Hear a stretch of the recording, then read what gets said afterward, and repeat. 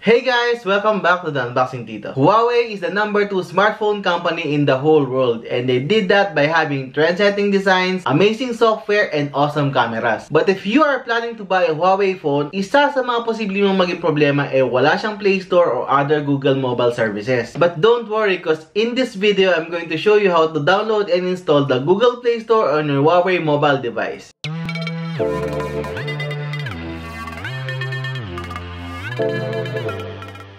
My channel provides unboxing and phone reviews of all the hottest phones available today. So if you're new here, make sure to subscribe and hit the bell icon para ma-notify ka each time mag-upload ako ng bagong video. So after all that, let's proceed with the video. I have here the Huawei Nova 7 5G to use as our demo unit for today's video. And before I forget, I made an unboxing and full review of this phone right here and I'll leave a link on the description box para mapanood nyo. So saan at paano nga ba magda-download ng mga paborito mong apps kung walang Google Play Store ang phone mo? You see, Huawei developed their own version ng Play Store and this is what they call the Huawei App Gallery kung saan pwede mong i-search and download yung mga gusto mong apps. If the app is available, then you will see an install button button. If not, then you will see a get button kung saan ida-direct ka sa official page ng app na hinahanap mo. But not all apps is available sa Huawei App Gallery since it's currently in its early stages pa lang. So another alternative for you is to use the Petal Search app. This is Huawei's very own search engine which is very useful especially if you're trying to download a mobile game. Just click on the Petal Search app then key in the app that you're looking for then press search. Under the app tab, it will show you a list of websites kung saan mo pwedeng i-download yung app na gusto gusto mo. Kung mapapansin mo, most of the time, APK pure yung link na ibibigay niya sa'yo. So you might ask yourself,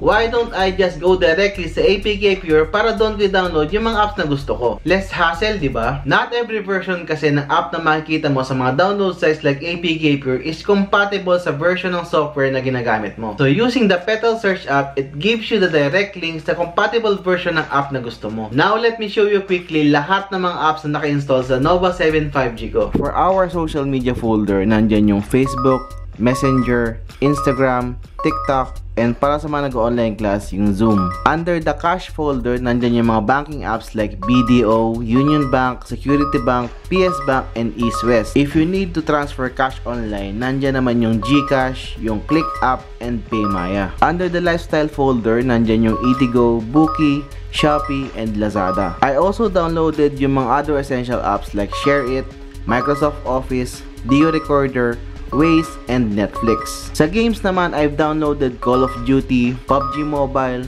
League of Legends Wild Rift, Mobile Legends, Asphalt 9, and yung game ko ngayon, A3 Still Alive. Lahat ng apps na nakita nyo, I've installed using the Huawei App Gallery or the Petal Search app. Now, I know every person has their own preferred list of apps and maybe isa o dalawa sa mga ito eh wala sa Huawei App Gallery or kahit gamitin mo si Petal Search app. If this is the case, then this is exactly what you need to do. Go to your Huawei browser. Ito yung kulay blue na spherical icon sa baba. Then on the search bar, type in vmos.com. Don't worry, I'll leave a link on the description box. Next, click on Vmos Pro download. Wait for a few seconds or minutes, depende na lang sa speed ng connection mo. Then when the download is finished, click allow then install. After a few swipes to the left, enter Vmos Pro. This will prompt to begin another download. When the download is finished, it will automatically install the customized ROM. Next, you will be brought here kung saan makikita mo na yung Google Play Store icon. Just click the icon and log in with your Google account for you to access the Google Play Store. Here, you can download yung mga Google apps na previously eh wala kang access. So, as an example, let us try to download the YouTube app. Sa search bar, key in YouTube, then let's try to install para makita natin kung gagana. Okay, so as you can see, the YouTube app is perfectly working. Just a disclaimer, there are other ways for you to install the Google Play Store but I think this method is the easiest. Yung ibang methods kasi includes downloading a password encrypted zip file, extracting them then involves a 15 to 20 step procedure after. For advanced users, you could try to explore that route. Pero kung beginner ka lang and hindi ka familiar masyado sa pag-tweak ng phone, this is the way to go. So bottom line is, if you're interested in purchasing a Huawei phone,